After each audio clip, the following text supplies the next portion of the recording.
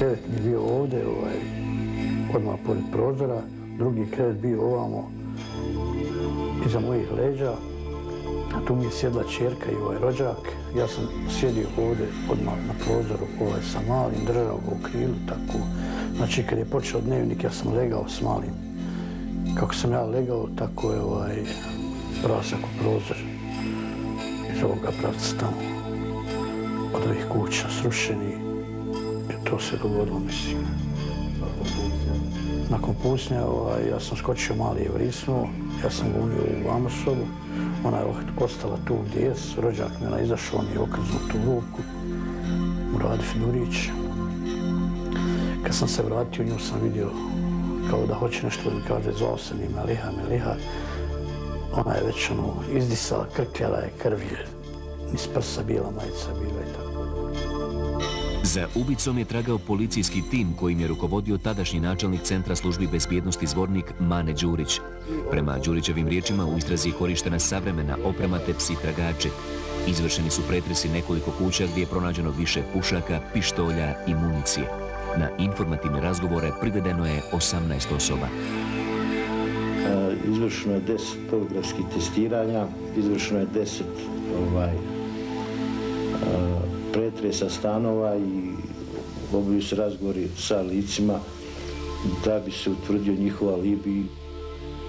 Nekoliko pušaka čiji je kalibar odgovarao kalibru metka koji je usmrtio Melihu Durić predato je uz nadzor UN misije na ekspertizu u Francusku. U rezultatima analize navedeno je da postoji vjerovatnoća da je puška iz koje je pucano ona koja pripada Anđelku Miroviću, nastanjenom u Vlasenici. Mirović je tvrdio da 11. jula puška, lovački karabin za kojeg je imao dozvolu, nije bila kod njega, jer ju je zbog kvara predao na popravak. Majstor kojem je puška navodno data, to je negirao. Anđelko Mirović je tokom suđenja 2004. godine oslobođen optužbe, dok je jedan od glavnih svjedoka u međuvremenu ocelio u inostranstvo. Proces je možda stao samo pod nekim prijetnjama. Ovo je bilo organizovan ovaj, organizovano ubijstvo. Idi, ubi, da li je za pare, da li je kako je. Mislim da je za osvetu neku, ja ne bi bio lud da se ja vratim ovdje ili da se ja nešto počinio nekome.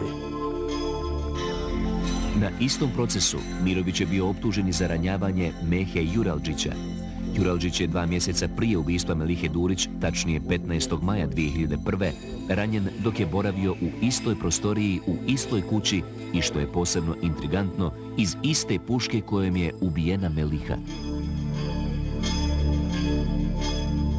Nisam zadovoljan sa tužilaštvom prvo što nije Anđelka Mirovića kaznilo samo iz razloga što je imalo oblast, znači imao je oblast da ga kazni što je svoje oružje dao drugome.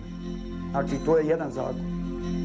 A drugi zakon, znači, ko je počinio krivični postupak, ne mora da znači da je on. Znači, ako puška taj dan nije bila kod njega, ali je njegova.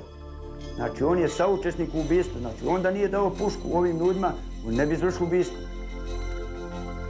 Postoje određene sumnje da je i na Juralđića i na Melihu Durić pucano sa istog mjesta, kroba obližnje srušene kuće sa kojeg je jasno vidljiv prozor sobe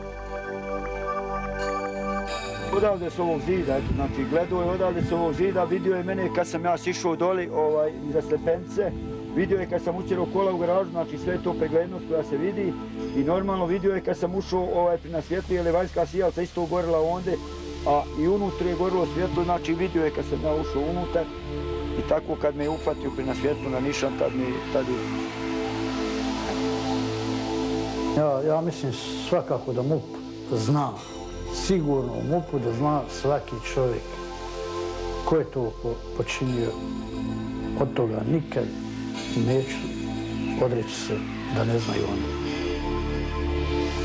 Za slučaj ubijstva Melihe Durić i ranjavanje Mehe Juralđića u Vlasenici nadležno je okružno tužilaštvo u istočnom Sarajevu. Na poziv da predoče u kojoj je fazi istraga u ovim slučajevima, odgovoreno je tek šturim pismenim saopštenjem u kojem se navodi da je predmet pravosnažno okončan 18. maja 2004. godine, kada se inače odustalo od optužnice protiv Anđelka Mirovića. Niti jednom riječju nije navedeno da postoji bilo kakva istraga, barem protiv nepoznatog počinioca podmuklog ubistva 16-godišnje Melihe Durić.